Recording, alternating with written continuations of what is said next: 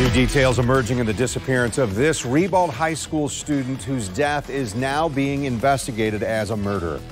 18 year old Santeria Williams. She vanished one week ago today. And her body was found Friday on the banks of the Trout River. News 4 Jax reporter Renee Beninate is joining us now with new information revealed in the teen's missing persons report. Renee. Mary, from that report, Williams' mom said she went to go wake up her daughter for school last Wednesday, but she was nowhere to be found. Just days later, she got the heartbreaking news that Santeria's body was found.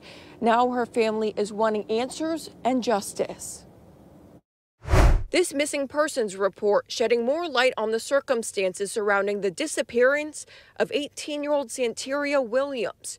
Her mom told investigators she last saw Williams at their family's home last Tuesday night when she was going to bed.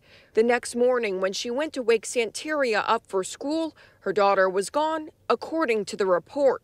She tried calling her daughter's phone, but it went to voicemail. Investigators noted her mom reached out to a friend of Williams who said she talked to Santeria around 2:30 Wednesday morning. The report stated her friend told her that Santeria responded saying, quote, she was hanging out with friends and was fine. It's just, it's sad. We talked to Donald Foy, the president of Jacksonville's Mad Dads, an organization that supports victims of violent crimes. Foy says people need to speak up if they know anything about the teen's murder. An arrest needs to be made, but the community needs to tell what they know. Break the code Hoping to get justice for this daughter friend, and sister, who family members describe as a loving person who always went out of her way for others. Once again, no arrests have been made. If you have any information about this case, call JSO or Crime Stoppers.